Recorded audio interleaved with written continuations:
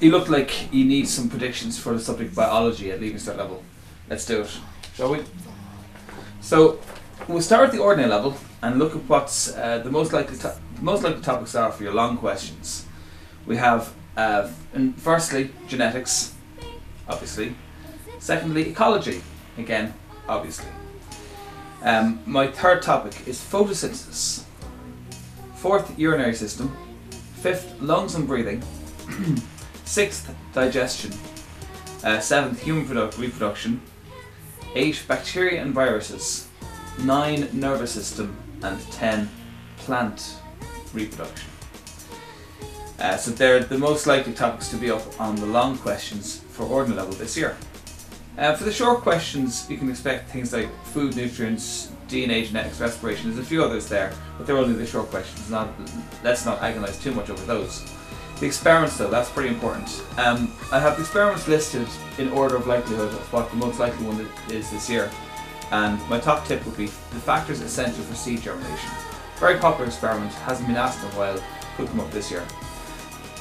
Then there's to dissect the heart, to show digestive activity during seed germination, to isolate DNA from onion tissue, um, a quadrant study of a named plant or animal, demonstrate growth of leaf yeast, um, to show the effect of pH on enzyme action, a test for protein or reducing sugar, and to examine a transection of a dicot stem. There are some of the main experiments I'd expect to see on the paper this year. Now, that's the order level. Let's move on and look at the higher level biology. So for higher level, again you have your dead certs, which are genetics and ecology, of course. Um, third topic, breathing system. Fourth, heart, blood, lymph. Fifth, urinary system. Number six, enzymes. Seven, nervous system. Eight, plant reproduction. And nine, digestion. These are my top tips for the long questions in higher level biology. For the short questions, once again, I've done a few for them, um, but you can just check them in the document at the end of the video, which this will be an image file at the end of the video. You can look at that. Um, now, the experiments. Most likely one this year is the IAA growth regulator experiment. Um, secondly, immobilizing the enzyme and using it. Third, dissect the heart.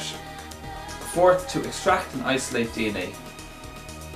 Um, number five, the effect of CO2 concentration or light on the rate of photosynthesis.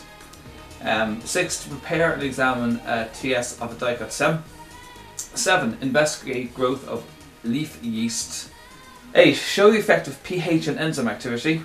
Nine, use yeast to produce ethanol. And ten, the scientific method in general. Um, that's popular, that comes up these days. So there you have it. That's all I got for you. Good luck in your biology exam.